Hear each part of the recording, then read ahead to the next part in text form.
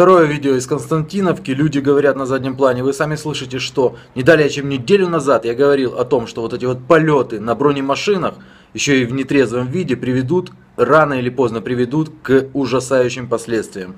Мне тогда говорили, да, нормально, нормально. Ну, нормально?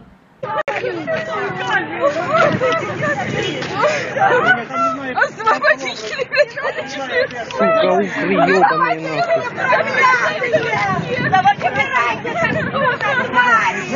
aqui!